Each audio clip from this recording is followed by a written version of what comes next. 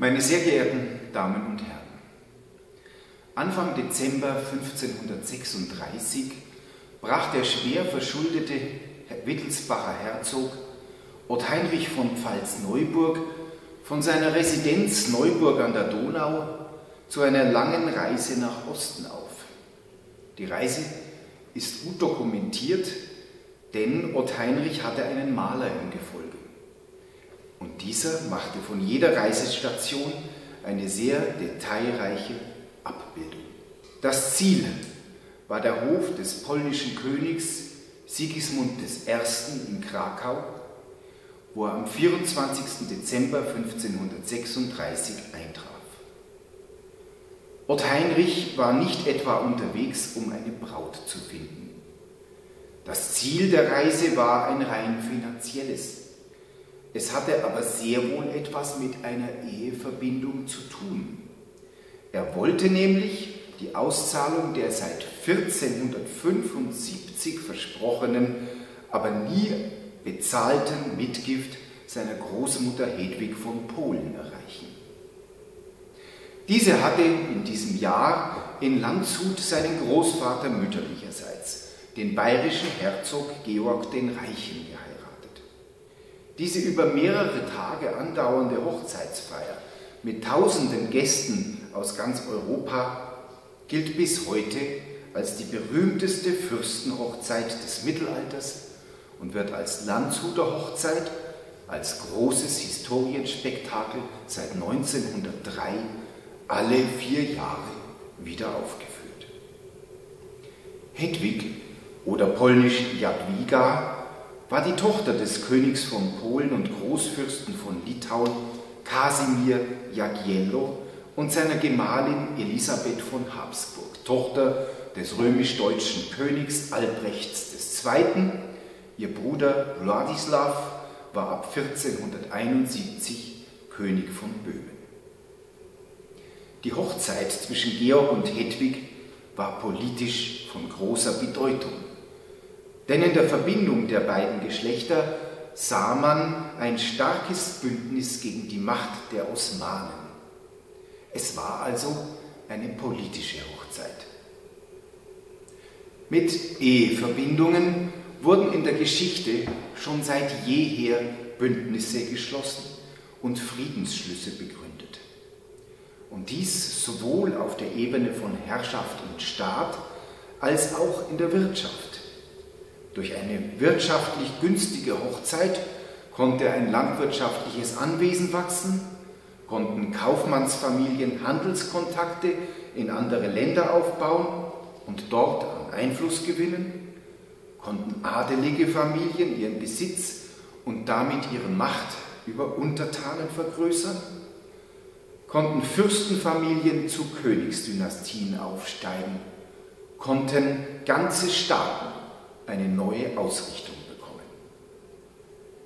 Schon im frühmittelalterlichen Frankenreich entstanden durch Eheverbindungen oft adelige Besitzkomplexe, die manchmal mehrere hundert Kilometer auseinander lagen und dennoch durch das neu entstandene Familiennetzwerk beherrschbar und nutzbar blieben.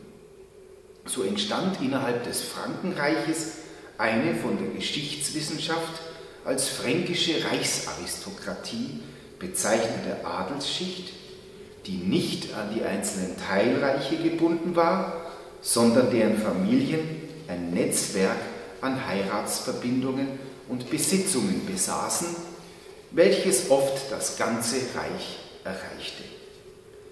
Sobald so ein Netzwerk aber einmal an die Grenzen des Reiches reichte, stellte sich die Frage, ob es nicht auch über die Grenzen des Reiches hinaus erweitert werden könne.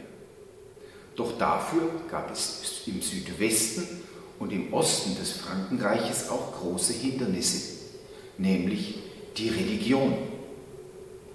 Betrachten wir dazu eine Karte des Frankenreiches.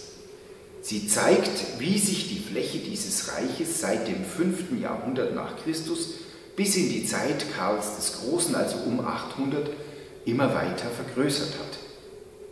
Seit der muslimischen Okkupation der spanischen Halbinsel nach 711 nach Christus waren Heiratsverbindungen in diesem Raum für Christen eigentlich undenkbar und konnten nur durch Wechsel der Religion erreicht werden.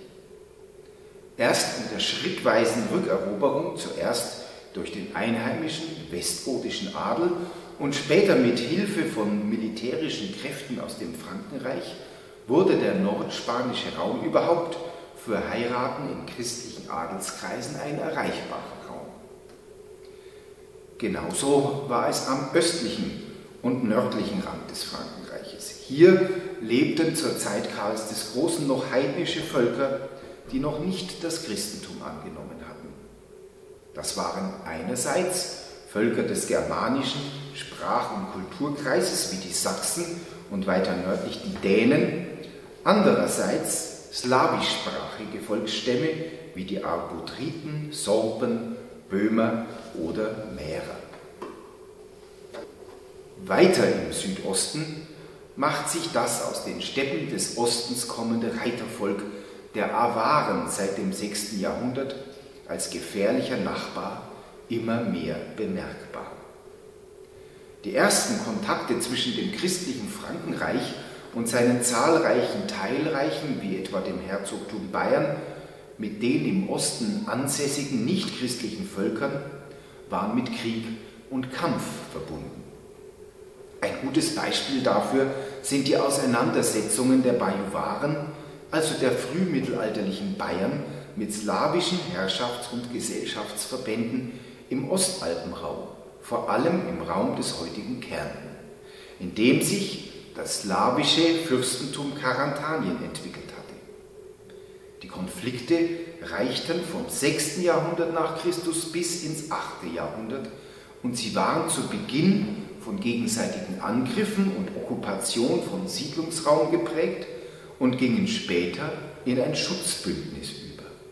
Als der slawische Fürst Borut von Karantanien im Jahr 743 die Bayern gegen die ihn bedrängenden Awaren zur Hilfe rief, war der Preis für die Hilfe die Annahme des Christentums. Dies betraf zunächst die Führungsschicht und dann auch die restliche Bevölkerung. Dies führte aber innerhalb der slawischen Bevölkerung zu mehreren Aufständen. Auch innerhalb des Herrschaftsgebietes der Herzöge von Bayern aus der Familie der Agilolfinger gab es im 8. Jahrhundert in mehreren Regionen slawische Bevölkerung, zu deren christlicher Missionierung Klöster und Kirchen gegründet wurden. Im Südtiroler Pustertal übergab Herzog Tassilo III. von Bayern im Jahr 769 dem Abt des Klosters Scharnitz namens Atto, also dem späteren Bischof Atto von Freising, hier einen Landstrich auf dem er ein Benediktinerkloster zur Missionierung der benachbarten Slawen gründen sollte. Auch im heutigen Oberösterreich finden wir Spuren dieser Missionsbemühungen. Im Jahr 777 gründete Tassilo III. im Osten seines Herzogtums das Kloster Kremsmünster. Hier, relativ nahe an der Ostgrenze seines Herrschaftsgebietes, gab es eine Mischbevölkerung von Bajuwaren und Slawen. Diese Slawen kamen schon bei der Gründung unter die Herrschaft des Klosters, obwohl sie noch nach eigenem Recht lebten. Es kam also zu einer Integration von Bevölkerungsgruppen, die eine slawische Sprache benutzten, in die bayerische Gesellschaft.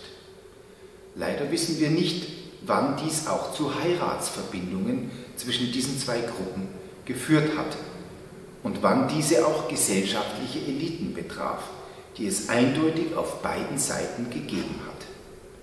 Jedenfalls ist uns keine bayerisch-slawische Ehe im Herzogshaus der Agilolfinger bekannt. Ob der bayerische Hochadel im Osten solche Heiratsverbindungen zur Absicherung von Bündnissen einging, können wir mangels Quellen in dieser Zeit noch nicht beurteilen. Betrachtet man in dieser Hinsicht den gesamten Kontaktraum des Frankenreiches, später dann des Ostfrankenreiches und des sich daraus entwickelten deutschen Königreichs mit den östlich benachbarten slawischen Herrschaftsbildungen, so kann man eine Konstante erkennen. Aus ersten kriegerischen Auseinandersetzungen erfolgte im Lauf der Zeit zumeist der Versuch der Annäherung und Verständigung, dann kam als nächste Phase die einer Integration in die westlich-christliche christliche Kultur. War dieser Schritt gegangen, stand auch dynastischen Heiratsverbindungen und daraus folgenden Netzwerkbildungen nichts mehr im Wege. Am Anfang dieser Entwicklung stehen erste Bündnisse mit slawischen Fürsten zur Zeit Karls des Großen und seiner Nachfolger, wie mit den Böhmen. Am Ende der Entwicklung, die über 200 Jahre dauert, steht dann die Integration der slawischsprachigen Völker in die Gemeinschaft des christlichen Abendlandes. Kaum etwas symbolisiert diesen langen und immer wieder konfliktreichen Prozess besser als das Titelbild des Evangeliars des Kaisers Otto III. Diese mit Buchmalerei ausgestattete Handschrift der Evangelien entstand um das Jahr 1000 im Auftrag Kaiser Ottos III. oder seines Nachfolgers König Heinrich II. im Kloster Reichenau im Bodensee. Das erste Bild, das sogenannte Dedikations- oder Stifterbild, zeigt auf der rechten Seite den thronenden Kaiser. Neben ihm stehen links zwei Erzbischöfe, rechts zwei adelige Krieger. Auf der linken Seite huldigen die Figuren von Sklavinia, Germania, Gallia und Roma dem Kaiser. Das Bild zeigt einen Anspruch, nämlich die Herrschaft des Kaisers über mehrere Völker, nämlich über das der Slawen, der Germanen, also der Deutschen, der Gallier, also eigentlich der Franzosen und der Römer, also der Bewohner Italiens. Gleichzeitig zeigt es aber auch eine Realität, nämlich dass tatsächlich bis in die Zeit Ottos III. Teile der slawischen Völker so eng an das Kaiserreich der Ottonen gewachsen waren, dass sie als dazugehörig angesehen wurden. Diese Entwicklung der Kontakte und später der Integration verläuft parallel zu einer über Jahrhunderte dauernden Transformation der slawischsprachigen Großregion zwischen Ostsee und den Karpaten. Sie ist gekennzeichnet durch die Entstehung von Landesherrschaften slawischer Fürsten und später Könige und durch den mittelalterlichen Landesausbau und Landesentwicklung. In direkter Nachbarschaft des Frankenreiches und des sich daraus im Osten entwickelnden deutschen Königreiches sind dies vor allem Böhmen und Polen, zwei Länder, die sich im Verlauf der Zeit von Karl dem Großen bis in die Ottonenzeit erst bilden. Dieser Landesausbau ist getragen durch die Anwerbung von Siedlern aus dem Westen und durch die Übernahme von Innovationen im Bereich von Landwirtschaft, Wirtschaft, Siedlungswesen und vor allem Recht. Konkret vollzieht sich der Landesausbau ganz lokal. Im Sachsenspiegel wird der Vorgang der Entstehung dieses eines Ortes in einer kolorierten Zeichnung sehr anschaulich dargestellt. Links oben übergibt ein Fürst einem Lokator eine Urkunde über ein Lehen. Neben ihm wird ein Wald gerodet und es werden Häuser gebaut. Unten überreicht der Lokator vor einer Kirche sitzend Lehensbriefe an neu angesiedelte Bauern, deren Gerichtsherr er gleichzeitig ist. Durch diese Anbindung an westliche Innovationen dringen die Schriftlichkeit, das Städtewesen und agrarische Innovationen in diesen Raum vor. Die Voraussetzung dafür war aber ganz klar die Annahme des Christentums durch die Herrscher und ihnen folgend des Adels und mit der Zeit des ganzen Volkes. Genauso können wir es in Böhmen feststellen. Während des Krieges Karls des Großen gegen die Awaren in den 790er Jahren kommt es zu ersten Kooperationen des Frankenreichs mit slawischen Stammesverbänden in Böhmen. Schon 805 und ein Jahr später überzog Karl zumindest das westliche Böhmen, allerdings mit Krieg, und machte es dem Frankenreich gegenüber tributpflichtig. Die noch nicht vereinten böhmischen Stämme mussten also eine fränkische Oberhoheit anerkennen. Dies ging immerhin so weit, dass im Jahr 815 bereits böhmische Anführer auf den Reichsversammlungen erschienen und dass 845 14 böhmische Fürsten in Regensburg vor dem König des Ostfrankenreiches, Ludwig dem Deutschen, erschienen und sich taufen ließen. Damit beginnt langsam der Weg des Christentums in die Region. Die Mission erfolgte zunächst vom Bistum Regensburg aus. Als Böhmen in den Einfluss des Mehrerreiches geriet, wirkten hier bereits byzantinische Missionare, Kyrie und Method, die eine erste slawische christliche Liturgie entwickelten.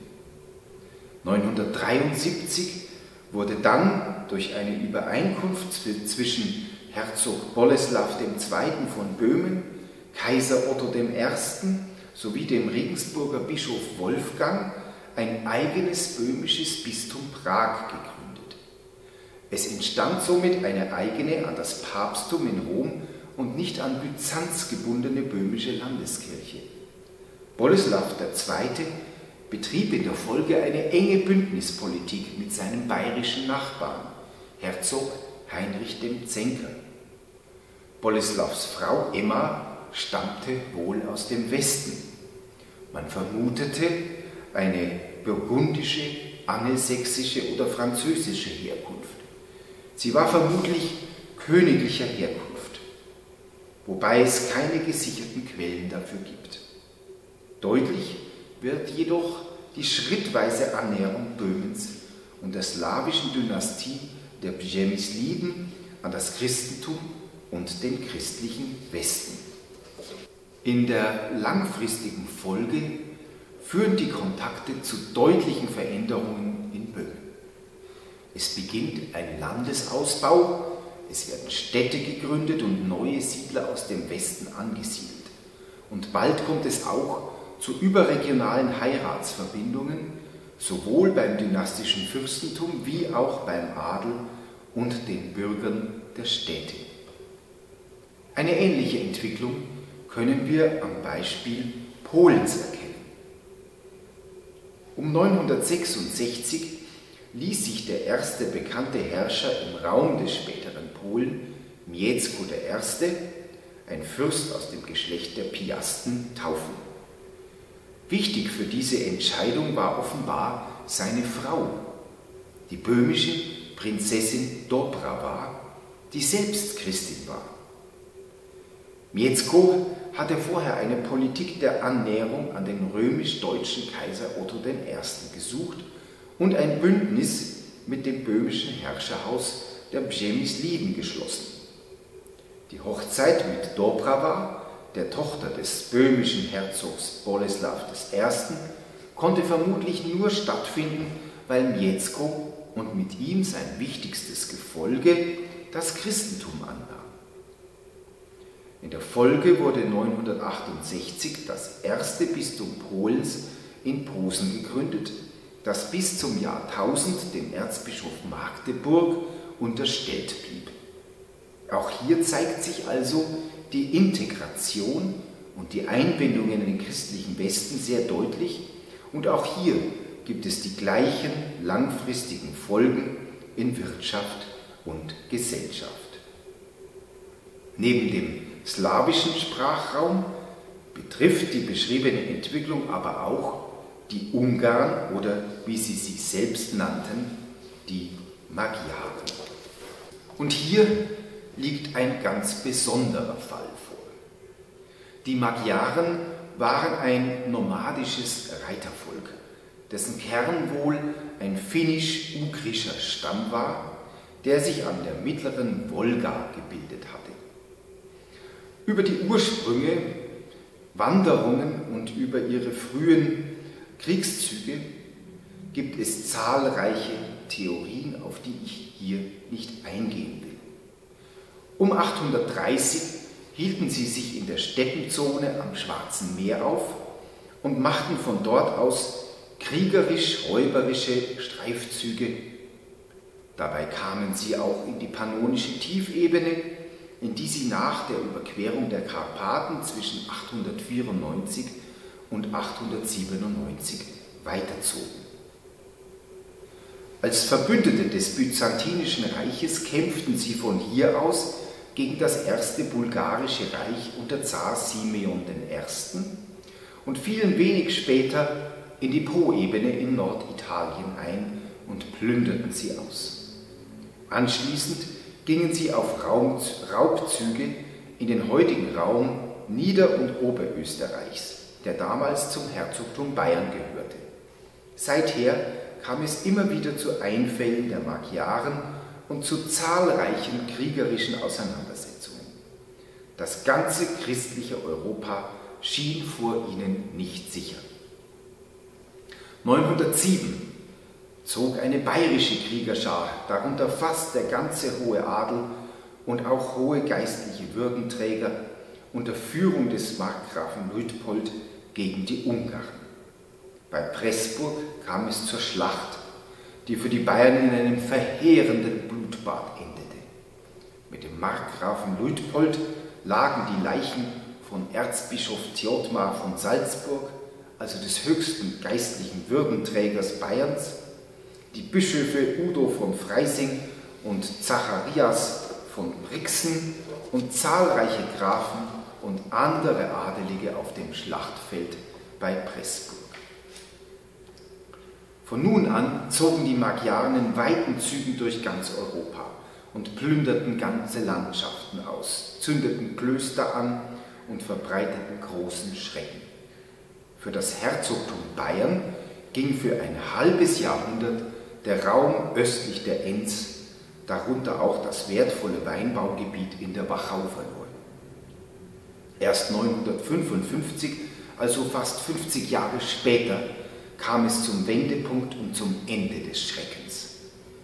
Die Ungarn waren in diesem Jahr wieder auf einen Raubzug nach Bayern gekommen und belagerten Augsburg. Bischof Ulrich von Augsburg konnte die Stadt aber gegen ihre Angriffe verteidigen. So kam es zur Belagerung und die Ungarn schlugen ihr Lager auf dem Lechfeld auf. Hier wurden sie unter Führung König Otto des Großen von einem Heer, das aus Rittern des Königs sowie aus Heeresteilen aus den Herzogtümern Bayern, Franken, Schwaben und Böhmen bestand, vernichtend geschlagen. Das war der Endpunkt der Ungarn-Einfälle und der größte militärische Sieg König Ottos des Großen über die ungarischen Reiter. Für die Ungarn hatte die dramatische Niederlage große Folgen. Sie verloren das Land zwischen der Enz und dem Rand der pannonischen Ebene im heutigen Burgenland und es kam zu einer vollständigen Veränderung ihrer Lebensweise und der Gesellschaft.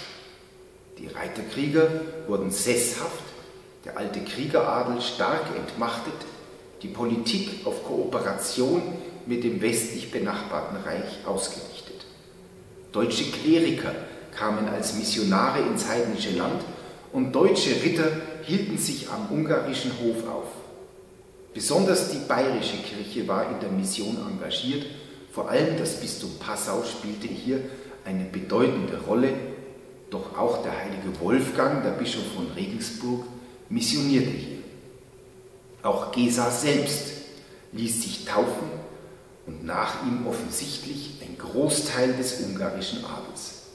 Durch die katholische Taufe bekannte sich Gesa klar zur römisch-katholischen Kirche und zeigte damit seinen Wunsch nach einer Integration in die westliche christliche Welt was den ebenfalls vorhandenen Interessen von Byzanz an einer Mission Ungarns einen Riegel vorschob. Bis heute trägt die Krone des ungarischen Königs den Namen Stephanskrone. Dies verweist auf Ungarns ersten König, nämlich Gesas Sohn Weig, der der Überlieferung nach schon in jungen Jahren von Bischof Adalbert von Prag mit dem Namen Stephan, ungarisch Istvan, getauft wurde. Die nach ihm benannte Stephanskrone ist heute ein Nationalheiligtum Ungarns, auch wenn sie wohl erst später entstanden ist. Weigs Taufname Stephan ist allerdings auch der Name des Patronsheiligen des Bistums Passau, das in Ungarn lange führend bei der frühen Mission war. Durch die Taufe Stephans war nun auch der Weg frei zu einer dynastischen Heiratsverbindung zwischen Ungarn und dem ostfränkisch-deutschen Reich, die die Westanbindung des Landes besiegeln sollte. Die Wahl fiel auf Gisela. Sie war die älteste Tochter des bayerischen Herzogs Heinrich des Zenkers und Schwester des späteren Kaisers Heinrich II. Um 955 fand die Hochzeit zwischen dem ungarischen Prinzen und der gerade erst zehnjährigen bayerischen Prinzessin statt. Giselas Grab im Passauer Kloster Niedernburg ist bis heute Ziel von ungarischen Wallfahrern. Die Verbindung zwischen Stephan und Gisela war der Anfang zahlreicher weiterer dynastischer Eheverbindungen zwischen Familien aus dem christlichen Europa und solchen aus Ungarn. Auch eine von Stephans Schwestern, Marie, wurde in den Westen verheiratet. Sie heiratete den Dogen von Venedig, Peter Orseolo, der später der zweite ungarische König wurde. Schon kurz nach der Mitte des 11. Jahrhunderts sucht dann erneut ein ungarischer König aus dem Haus der Arpaden durch eine Hochzeit die Tradition von dynastischen Verbindungen zwischen Ungarn und dem Reich fortzusetzen. 1063 heiratet König Salomon von Ungarn nämlich Judith, die jüngste Tochter von Kaiser Heinrich III. aus dem Geschlecht der Salier. Blickt man auf die bisherigen Beispiele, so wird deutlich, Eheverbindungen von Dynasten dienten oft der Fundierung von Bündnissen. In unserem Kontext kann man sie auch als sichtbare Zeichen von Integrationswillen in das westliche Reichssystem deuten. Kommen wir nun zu Beispielen von Fürstenfamilien mit überregionalen und transnationalen familiären Netzwerken im deutschen und dem mitteleuropäischen Raum. Das erste Beispiel ist die bayerische Adelsfamilie der Wittelsbacher. Das Haus Wittelsbach stieg im 12. Jahrhundert in den Rang von Reichsfürsten auf.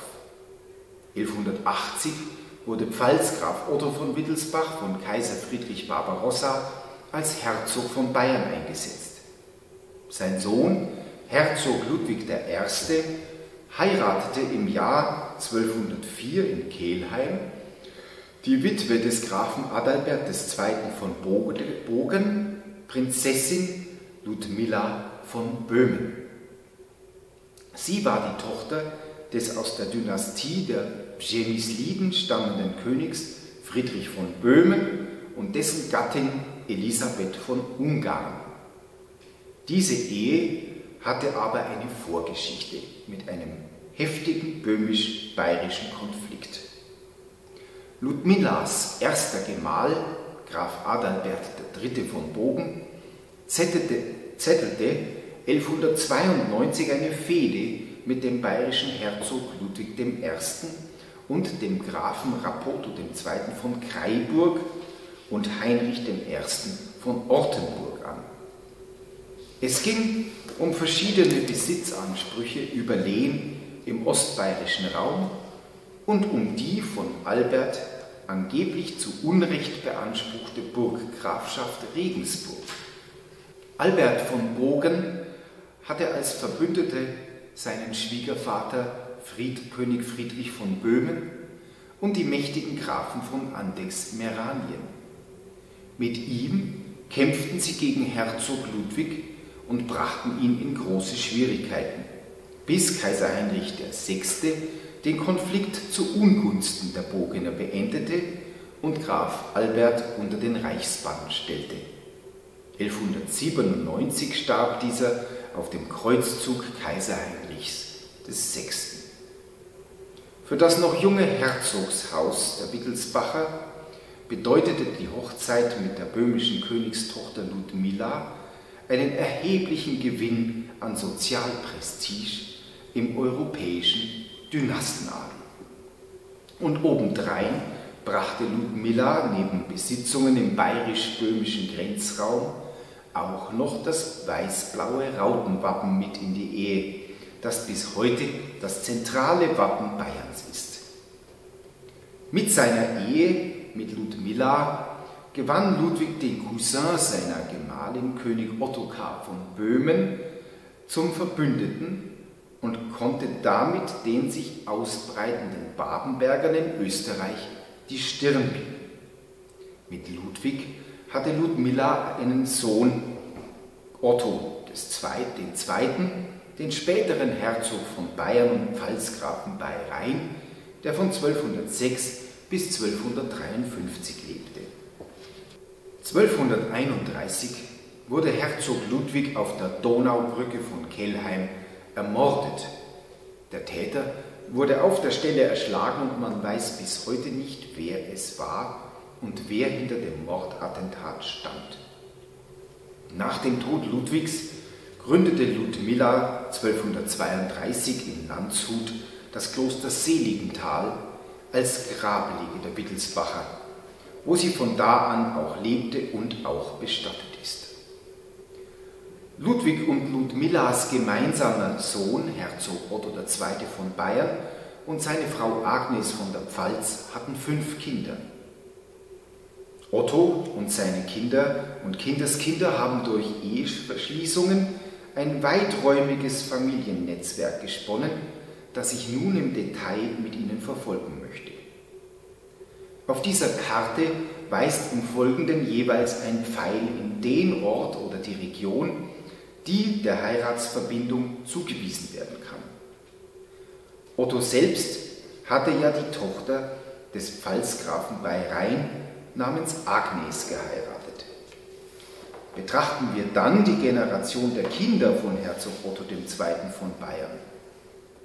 Ottos älteste Tochter Elisabeth, die von 1227 bis 73 lebte, heiratete 1246 in Vogelg an der Donau König Konrad IV. aus dem Hause der Staufer. Einen deutschen König auf einer, auf einer Karte mit einem Pfeil zu lokalisieren, ist unmöglich. Daher zeigt der zweite Pfeil die Lage der Stammburg der Staufer Hohenstaufen bei Göppingen. Nach dem Tod König Konrads 1254 in Italien heiratete Elisabeth vier Jahre später in München Graf Meinhard II. von Görz und Tirol der später auch Herzog von Kärnten wurde. Damit greifen die wittelsbachischen Heiratsverbindungen erstmals in den Ostalpenraum aus. Der älteste Sohn Herzog Ottos, Ludwig II., heiratete dagegen in den Westen. 1254 fand in Landshut seine Vermählung mit Maria von Brabant statt. Bereits zwei Jahre später ließ er Maria allerdings wegen angeblichen Ehebruchs hinrichten, weswegen er bis heute als Ludwig der Strenge bezeichnet wird.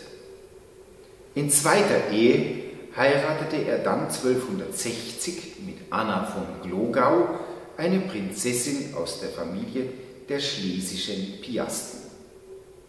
Anna war eine Urenkelin einer bayerischen Hochadeligen, nämlich der heiligen Hedwig von Andex. Damit zeigt sich bei den schlesischen Piasten eine in dieser alten polnischen Dynastie schon seit vielen Generationen bestehende Tradition von Eheverbindungen in den deutschen Hochadel. Nach dem Tod Anna von Glogaus 1271 heiratete Ludwig der Strenge dann Mathilde, eine Tochter des gerade gewählten Königs Rudolf von Habsburg.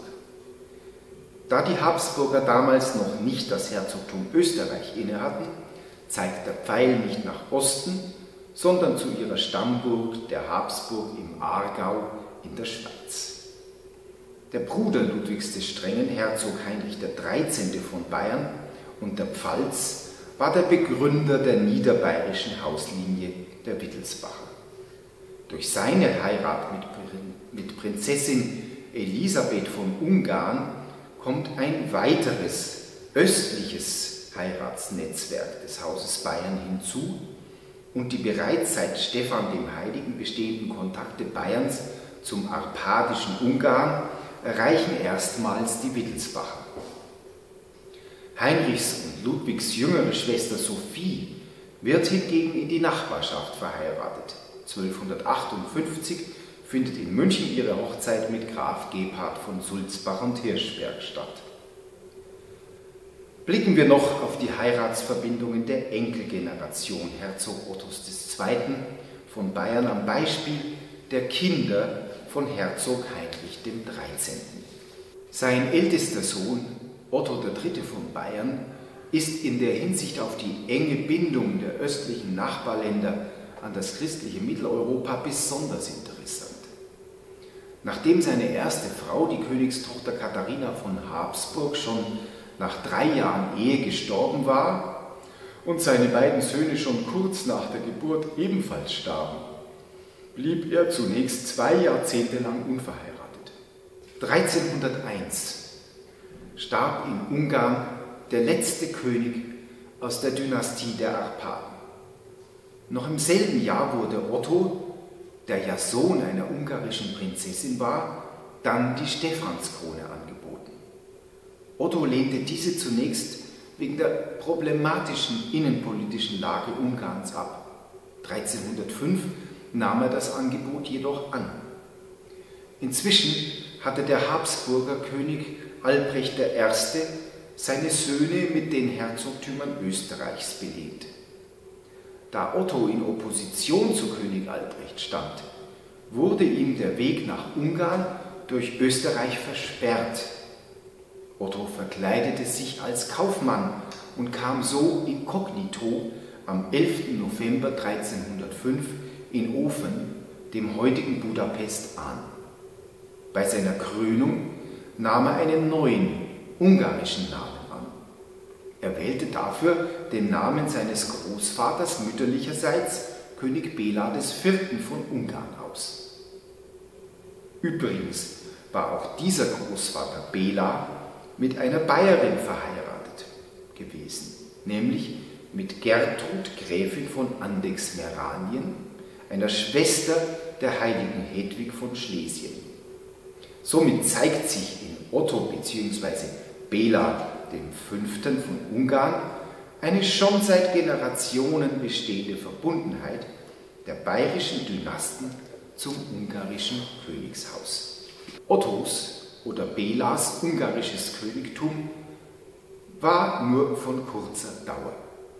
Zu groß war der landesinterne Widerstand, besonders des Erzbischofs von Gran, der als Primas von Ungarn den Franzosen Karl Robert von Anjou als König bevorzugte.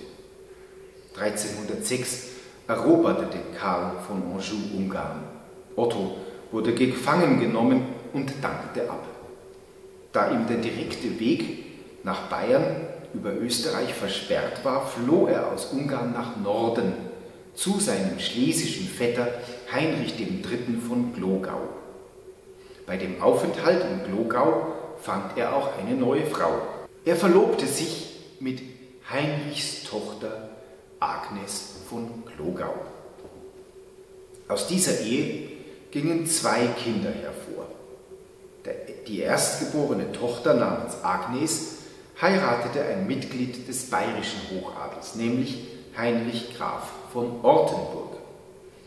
Der zwei Jahre jüngere Sohn Heinrich heiratete dann eine Habsburgerin, nämlich Anna von Österreich. Wir können im Haus Wittelsbach also ein in drei Generationen gewachsenes, in alle Richtungen weisendes Familiennetzwerk feststellen, bei dem Hochzeitsverbindungen in die östlichen Nachbarreiche des Heiligen Römischen Reiches oft eine weichenstellende Rolle spielte. Verlassen wir nun Bayern und wenden den Blick nach Osten auf das Herrschergeschlecht der Herzöge und späteren Könige von Polen aus dem Haus der Piasten. Der erste in schriftlichen Quellen bezeugte Vertreter dieser Familie war Mieszko I., der vermutlich um 945 geboren wurde und bis 992 lebte. Er war ein slawischer Fürst, der in den westlichen Quellen als erster Herrscher im Gebiet des heutigen Polen genannt ist. Ab etwa 960 wird er als Herzog von Polen bezeichnet. In der um 967 entstandenen Sachsengeschichte des Widukind von Korvei wird berichtet, dass er um 963 zwei schwere militärische Niederlagen gegen ein slawisches Heer unter der Führung eines Angehörigen des sächsischen Herzogshauses erlitten hatte. Mieszkos Herrschaftsgebiet lag in dieser Zeit im späteren Großpolen, also im Gebiet um Gnesen und Posen. Nach den schweren Niederlagen des Jahres 963 suchte Mieszko eine Annäherung an Kaiser Otto I.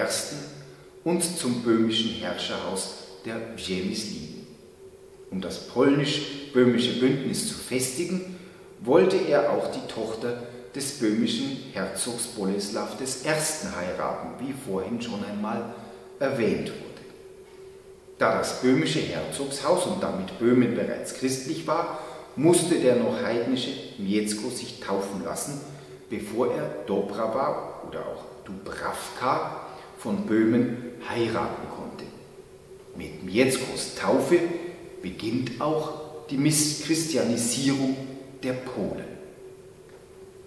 Auch die Kinder aus der Ehe von Mieszko und Dobrava und ihre Eheverbindungen dienten der Bündnis- und Absicherungspolitik.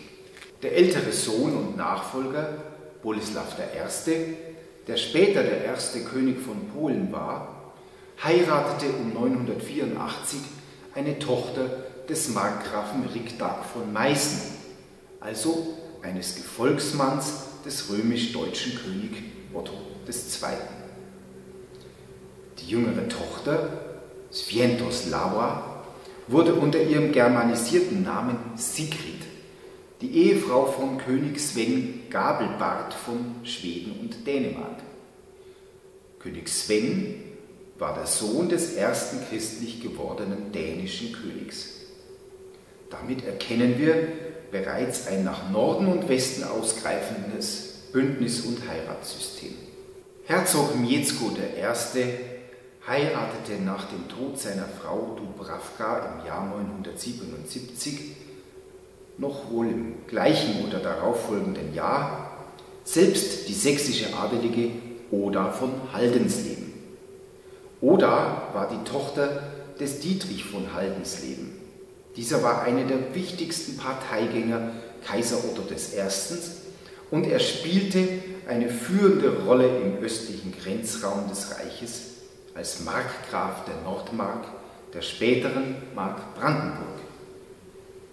Nach Mieszkos Tod 992 wurde Oda allerdings von dessen Nachfolger, ihrem Stiefsohn Boleslaw I.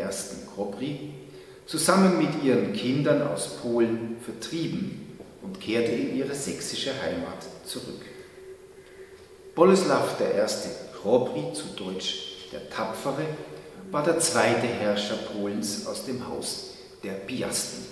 Seine Ehe mit der Tochter des Markgrafen Rigdag von Meißen wurde bereits erwähnt.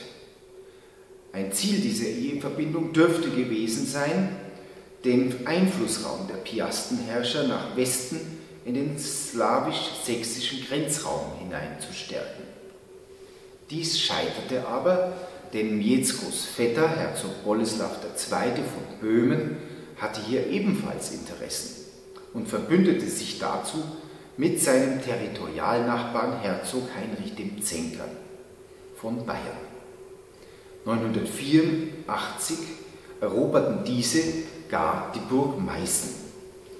Als also der piastische Plan, hier Einfluss, gewinnen, äh, Einfluss zu bekommen, gescheitert war, löste Boleslaw Krobry die Ehe mit der Tochter des Markgrafen von Meißen wieder auf. Stattdessen schmiedete er mit seiner nächsten Heirat schon die nächste große militärische Allianz und heiratete wohl schon ein Jahr später eine Fürstentochter aus der ungarischen Herrscherfamilie der Arpaden. Damit wollte er das Königreich Böhmen einkreisen. Aber auch diese Rechnung ging nicht auf. Die Ungarn waren offenbar an größeren Kämpfen gegen die Böhmen nicht sehr interessiert und so wurde auch diese Ehe wieder aufgelöst. Also ging die Suche nach einer passenden Braut und gleichzeitig nach neuen Bündnissen im Westen in dem slawisch-sächsischen Kontaktraum weiter. Boleslaw I. Krobris nächste Frau war Emnilda, die Tochter des einflussreichen sorbischen Adeligen Dobomir. In der Folge kämpfte Boleslaw an Seite des römisch-deutschen Kaisers Otto III. gegen die heidnischen Lutizen in der heutigen Lausitz und gewann Einfluss bei den Elbslawen. Damit drängte er nun selbst den böhmischen Einfluss in dieser Region deutlich zurück. In der nächsten Generation der Piasten erreichte diese Heiratspolitik mit westlichen Hochadelshäusern einen ganz besonderen Höhepunkt und dieser ist mit dem berühmten Akt von Gnesen verbunden. Boleslaw Krobris gleichnamiger Sohn und Nachfolger Boleslaw II. hatte die Gebeine des im Jahr 997 ermordeten Missionars Adalbert von Prag in die Bischofskirche von Gnesen überführen lassen. Dies zog zahlreiche Wallfahrten nach sich. Im Jahr 1000 kam auch Kaiser Otto III. als Pilger nach Gnesen. Dort kam es zum Akt von Gnesen, bei dem Otto Boleslaw II. möglicherweise zum König von Polen erhob. Auf alle Fälle erhielt Boleslaw jedoch einige Rechte, die einem König zustehen. Besonders wichtig war dabei das Recht, Bischöfe einzusetzen. Damit war der Weg zur Entstehung einer eigenen polnischen Landeskirche geebnet. Für unser Thema ist aber noch wichtiger, in Genesen wurde auch die Eheschließung zwischen Boleslaws Sohn Mieszko II. und Richetza, einer Nichte des selbst kinderlosen Kaisers, vereinbart. Eine Eheverbindung mit einer engen Verwandten des Kaisers war für das Geschlecht der Piasten eine enorme Prestigeerhöhung, denn damit hatte das junge polnische Königtum Anschluss an die Tradition der älteren fränkischen Königreiche gefunden. Über ihre drei Kinder wurde Richeza zur Stammmutter von drei bedeutenden Dynastien im östlichen Europa. Der polnischen Piasten, der Rurikiden in der Kiewer Rus, aus der sich Russland entwickelte, und der Arpaden in Ungarn. Um 1130 kam es im Königreich Polen zu einer folgenreichen Aufteilung des Piastenstaates. Boleslaw III hatte sein Reich unter seinen vier Söhnen aufgeteilt. Dadurch entstanden vier neue Linien der Piasten, die jeweils eigenständige Herzogtümer wurden. Auch diese Linien knüpften in den folgenden Jahrhunderten natürlich wieder weitreichende familiäre Netzwerke. Neben den Piasten gab es auch noch eine weitere Dynastie im nordostpolnischen Raum. Die Herzöge von Pommern aus dem Hause der Greifen. Und auch diese Familie hat ein beeindruckendes Mitteleuropa weit überspannendes Familiennetzwerk geknüpft. Der erste Herzog von Pommern, der urkundlich belegt aus der Familie der Greifen stammte, war Wartislav I. Dieser Begründer des Adelhauses war auch der erste Förderer des Christentums.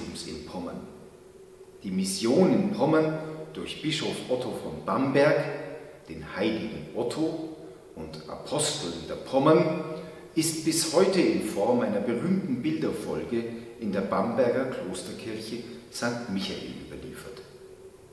Wartislavs beide Eheschließungen zeigen eine überregionale Bündnispolitik und eine Westorientierung an, auch wenn die Herkunft der beiden Frauen quellenmäßig nicht sicher belegt sind.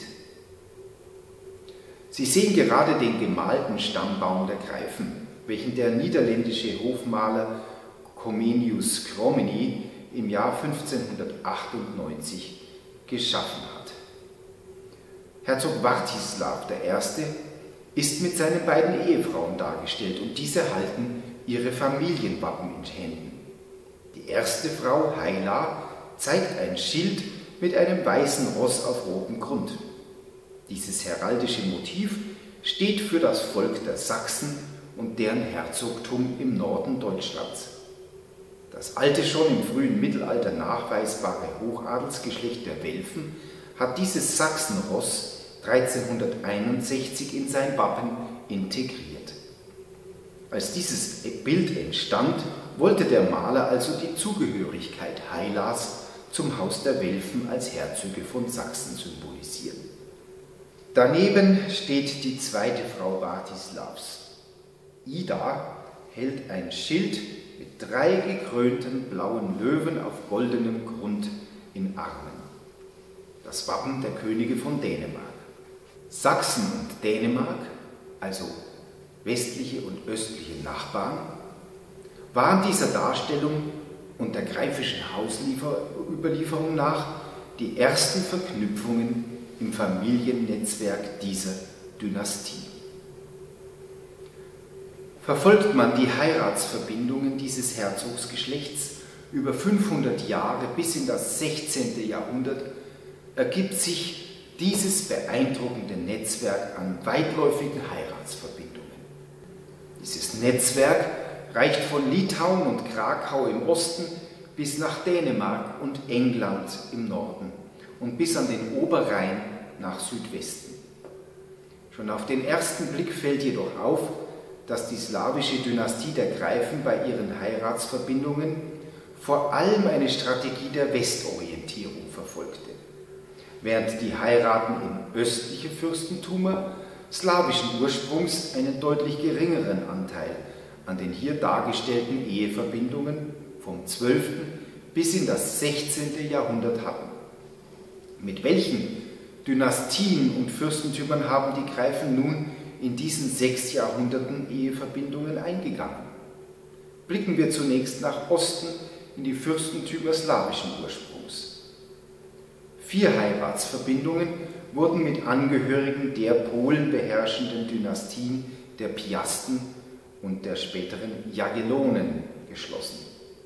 Bei den weiteren von den Piasten beherrschten Fürstentümern wurden mit Masowien drei Eheverbindungen geschlossen mit den in Schlesien gelegenen Teilherzogtümern Schlesien, Glogau, Liegnitz und Brieg jeweils eine. Auch mit dem direkt östlich benachbarten und im 12. und 13. Jahrhundert bestehenden Herzogtum Pomerellen gab es eine Heiratsverbindung. Wesentlich stärkere familiäre Verbindungen pflegten die Greifen mit ihren westlichen Nachbarn. Das Fürstentum Mecklenburg beherrschten seit dem 8. Jahrhundert die Obotriten, eine Dynastie ebenfalls slawischen Ursprungs. Mit dieser bis heute bestehenden uralten Adelsfamilie wurden in fünf Jahrhunderten zwölf Ehen geschlossen. Dazu kommen noch zwei mit den Teilfürstentümern Mecklenburg-Stargard und Mecklenburg-Güstrow. Mit weiteren drei direkt in Pommern über Herrschaften verfügenden Familien gab es je eine Ehe. Mit der Herrschaft Gützkow mit dem nur im 14. und 15. Jahrhundert bestehenden Herzogtum Pommern-Stolp und mit dem zwar slawischen, aber unter dänischen Lehenshoheit stehenden Fürstentum Rügen. Zwei Heiraten zielten in den Raum des Baltikums. Herzog Kasimir IV. heiratete wohl nach 1365 eine Tochter des Großfürsten Olgierd von Litauen. Eine weitere Eheverbindung wurde im 16. Jahrhundert mit Herzog Friedrich Kettler von Kurland und Semgallen geschlossen. Nach Norden über die Ostsee ins dänische Königshaus heirateten insgesamt drei Angehörige des Greifenhauses. Kommen wir als nächstes zu dem Familiennetzwerk mit den westlich und südlich ansässigen Fürstentümern deutschen Ursprungs. Gehen wir dabei von Nordost nach Südwest vor.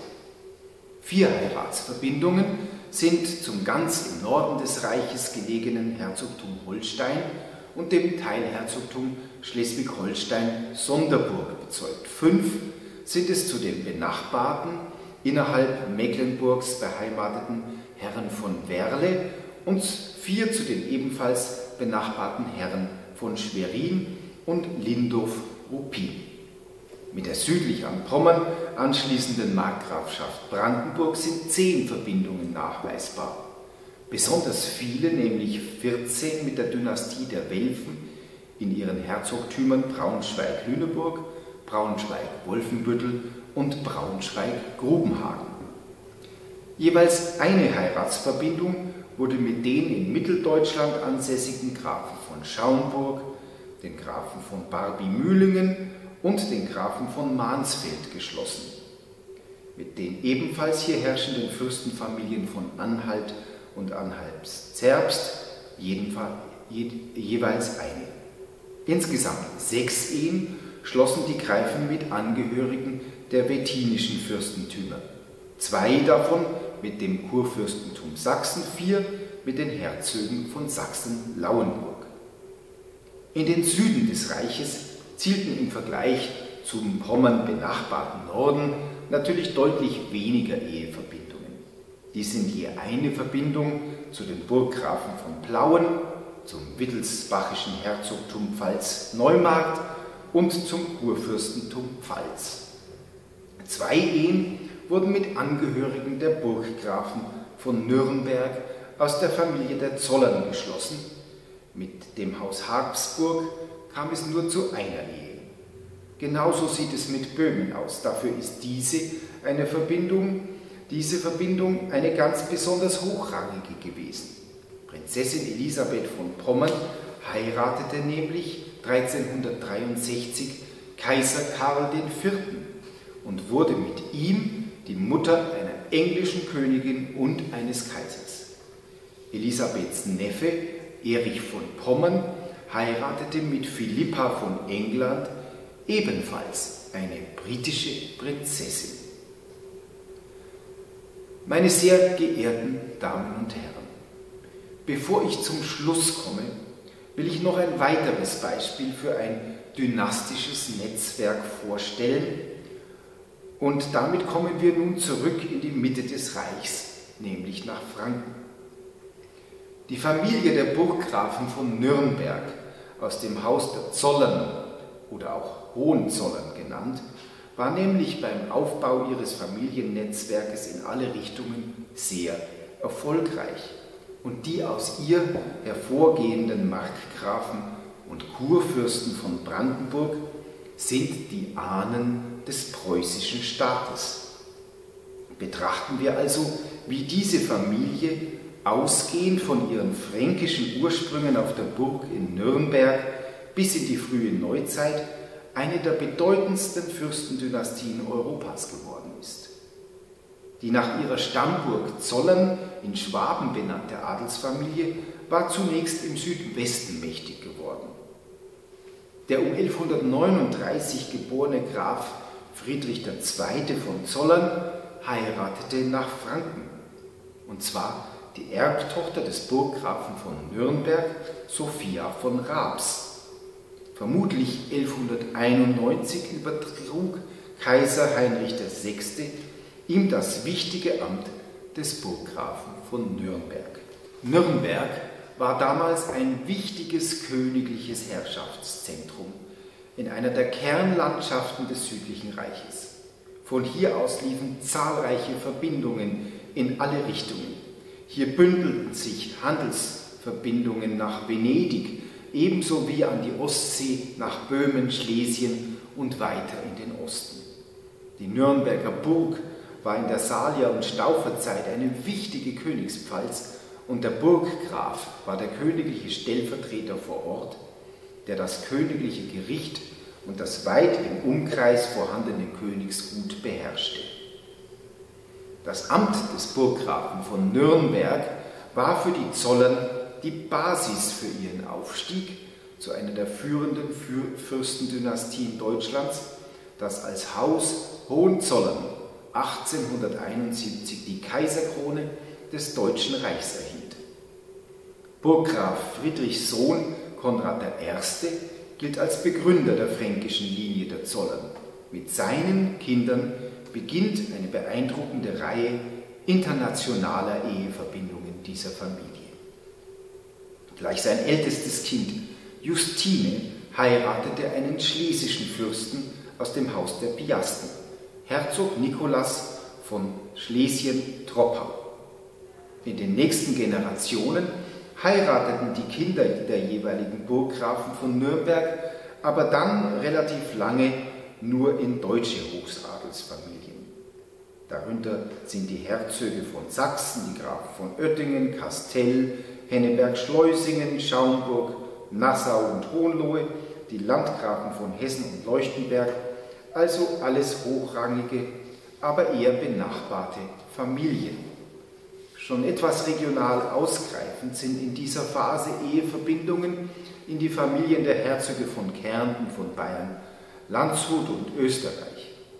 Der 1358 geborenen Burggräfin Elisabeth gelang die bis dahin höchstrangige Eheverbindung.